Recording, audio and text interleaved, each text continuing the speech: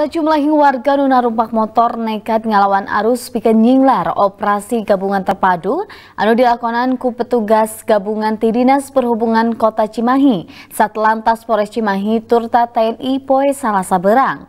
Dina entara zia gabungan teh petugas nilang sawatara kendaraan.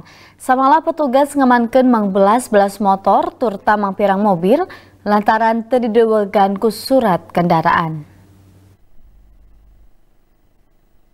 Petugas Satuan Lalu Lintas Polres Cimahi TNI Turta Dinas Perhubungan Kota Cimahi ngalakonan operasi gabungan terpadu atau Gakumdu Lalu Lintas ke sababara kendaraan boh motor boh mobil di lalawak Cilember Kota Cimahi poe salah saberang.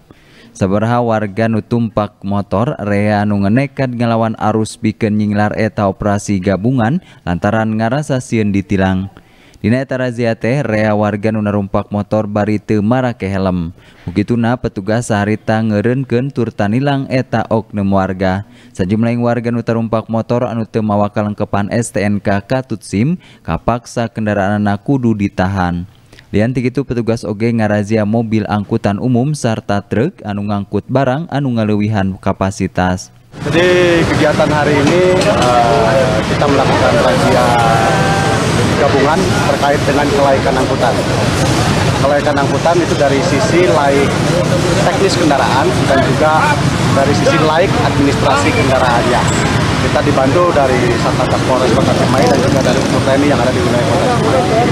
Ada beberapa hal yang kita harapkan dengan dilaksanakannya kegiatan ini uh, kita ingin mengedukasi masyarakat kita terkait dengan tertib berlalu lintas.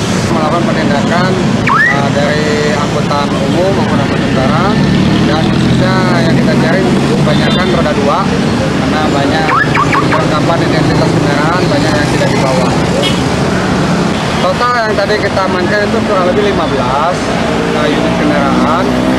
Namun tadi ada yang kembali menukarkan dengan STNK-nya dan ada yang masih kendaraan yang masih Eta operasi gabungan teh bakal mayang dilakonan lianti pikeun mere rasa aman kanuna rumpak kendaraan turta tuhu kana administrasi oge pikeun nyinglar lampah kriminal karaman anu maling motor.